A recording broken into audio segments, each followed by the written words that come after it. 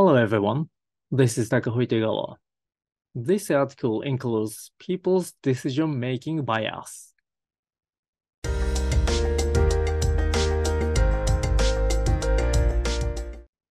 Knowing that you have a bias in your decision-making can increase your chances of reducing the discomfort caused by that bias.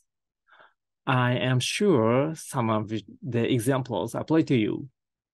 Please feel free to ask them, thinking that they might apply to you. So let's get started. First, an overview of the content of this article. There are many biases in the way people make decisions. In this video, after introducing the idea that people's decisions are biased, I will explain seven typical biases. The first bias is called anchoring. Anchoring is a term that describes how our decisions are influenced by information they have previously received. The second bias is called availability heuristic. A heuristic is a process by which people make decisions quickly by simplifying the processing of information they have received. The availability heuristic is the decision-making tendency to rely on information that is commonly seen. The third bias is known as the representativeness bias. The representativeness bias is the decision-making tendency to attribute impressions of an object to a particular category or groups to which the object belongs. The fourth bias is called unrealistic optimism. Unrealistic optimism is a decision-making bias that leads people to believe that they and the organization they belong to are more idealistic than others. The fifth bias is known as loss aversion. Loss aversion is the decision-making tendency to find losses twice as painful as gains. The sixth bias is known as the status quo bias. The sixth bias is known as the status quo bias. The status quo bias is a decision-making bias that fears change and prefers business as usual. The seventh bias is called framing. Framing is a decision-making bias where people have different impressions of the same content depending on how it is communicated. In addition to the seven biases presented in this video, there are many others. The reference material for this video is Nudge by Richard Thaler and Cass Sunstein. Let me introduce you to the fact that people's decisions are biased. First, Look at the picture of the two desks. Are they the same size? Or is the desk on the left square and the one on the right more elongated and narrower? How do they look to you? The desk on the right seems longer and narrower to me. In fact, those two desks have the same shape I did the illustrations of those two desks. I created the left desk first, rotated its top without changing its shape, and then reversed the left and right sides to illustrate the right desk. This bias in information processing is not limited to vision. We interpreted the information we receive in a biased way, and we make biased decision. Let me now give you some typical examples of our decision-making bias. First, let's talk about anchoring. Anchoring is the term that describes how people are influenced by previous information. For example, consider the case of multiplying the integer 1 to 8. Experiments have shown that the average predicted value of the result of the calculation was 512 when the numbers were multiplying sequentially starting from 1. Conversely, the average predicted value of the result of the calculation when the numbers were multiplied sequentially starting from 8 was 2250. Since the value to be multiplied are the same, the result of the calculation should be the same, whether the you start from 1 or 8.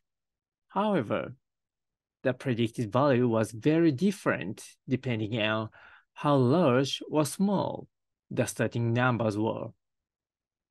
This is the phenomenon of decision being influenced by previous information and is known as anchoring. Incidentally, the result of the multiplying integers from 1 to 8 is for 40,320. Let's look at another example of an anchoring experiment. The correlation coefficient between happiness and frequency of dating was low when the happiness question was asked first and then the frequency of dating. On the other hand, when the frequency of dating was asked first and then the happiness question, those correlations were higher. In other words, when the happiness question was asked after recalling things that lead to happiness, respondents remembered the date when answering the happiness question, resulting in a higher happiness response. As these examples show, people's judgment is influenced by the information they received immediately before. The next decision bias introduced is the availability heuristic. A heuristic is is a process by which people make decisions quickly by simplifying the processing of information they receive. And their availability heuristic is their decision-making tendency to rely on information that is commonly seen. In US, which is the greater number of people killed with a gun in a year, or the greater number of people who committed suicide with a gun, it is easy to get the impression that the number of people killed is higher. But suicide are almost twice as common. Information about shooting and the other incident is replied through various media, such as television, the internet, the newspapers. On the other hand, gun-related suicide are not often broadcast. In other words, the information we receive in our daily lives is biased. And because of this bias, our impressions are also biased. The next decision-making bias we will discuss is the representativeness bias. Representativeness bias refers to the decision-making tendency to attribute impressions of an object to a particular category or group to which the object belongs. It is also known as the similarity heuristic. Let's start by reading the description of Linda. Linda is 31 years old, single, articulate, and very intelligent. She studies psychology at university. During her teenage year, she was very interested in issues such as gender and social justice and was involved in anti-nuclear demonstrations. Which of following attributes of Linda's is more appropriate, A or B? A. Linda is now a banker. B. Linda is now a bank teller and passionate about the feminist movement. Which of Linda's attributes did you think was more attribute, A or B? We know that B is more likely to be chosen. However, B is more limited attributes than A, and B is part of A. In other words, A is more valid than B as a sen sentence describing Linda's attributes. However, we tend to choose B, which is closer to our impression of Linda. This decision bias is the representativeness bias. The next decision-making bias is called unrealistic optimism. Unrealistic optimism is a decision-making bias that leads people to believe that they and the organization they belong to are closer to an ideal than others. Unrealistic optimism has the following characteristics. First, we tend to interpret prediction errors optimistically. We tend to predict outcomes of our engagements that are more favorable than realistic possibilities. For example, we tend to predict that we will outperform others in exam performance or project success. Second, we tend to underestimate the risks we face. For example, smokers tend to underestimate the risks of health problems from smoking and people living in areas with heavy rainfall tend to underestimate the risk of river flooding. We also tend to have unrealistically high self-esteem. We tend to think of ourselves as more capable and more likely to success than others. As a concrete example, consider an entrepreneur with a new business idea. Influenced by unrealistic optimism, the entrepreneur tends to overestimate the likelihood of success and underestimate the difficulties and risks. As a result, the business plans and strategies may become unrealistic and they may not make appropriate decisions about their chances of success or future risks. While unrealistic optimism encourages people to act confidently and pursue opportunities, it can also lead them to overlook realistic risks and make poor decisions the fifth bias is known as loss aversion. Loss aversion refers to the decision-making tendency to find losses twice as painful as gain. In other words, the loss aversion refers to people's tendency to minimize losses to avoid risk. Here are some examples of loss aversion. First, loss aversion in investment is presented here investors tend to choose safe assets or low risk investments to minimize risk. They tend to avoid investments with high return potential, but also high risk. Next, loss aversion in consumer behavior is introduced. Consumers tend to choose goods and service with guarantees of safety and quality. To avoid losses, they tend to choose products that they feel are more reliable and of guaranteed quality than new products. Loss aversion is based on people's instinct to protect their resources and interests.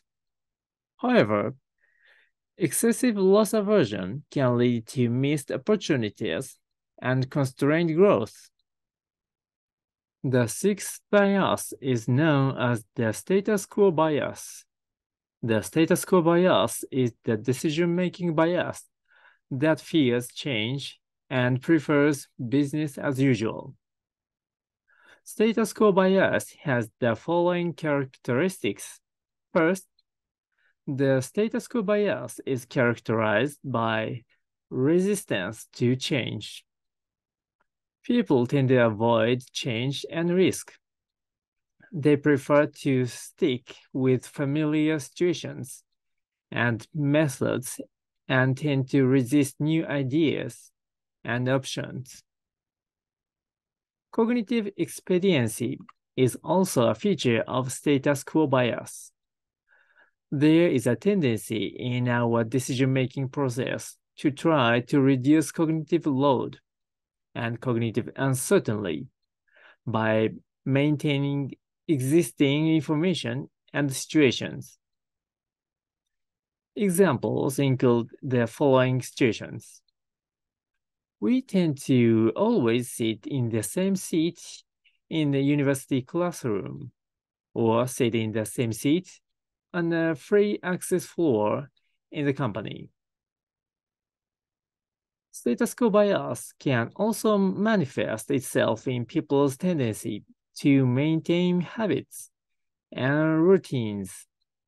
For example, if they are used to going to a particular restaurant or cafe, they may avoid trying new places or new menus. Status quo bias also affects investment and financial decisions. People tend to resist changing their existing investment and financial strategies and try to maintain uh, their existing portfolios and strategies to avoid risk. This can lead to missing out, out on new investment opportunities and effective financial strategies. There is a tendency to try to maintain existing situations and options because they reduce cognitive load and provide a sense of stability and security. The seventh bias is called framing. Framing is a decision-making bias in which the same content is communicated in different ways to create different impressions. This way of communicating is called framing. Here is an example of positive framing. For example, people are more likely to undergo a medical procedure with a 90% success rate than one with a 10% failure rate. That was our introduction to human decision bias. See you all in another video. Thank you for watching.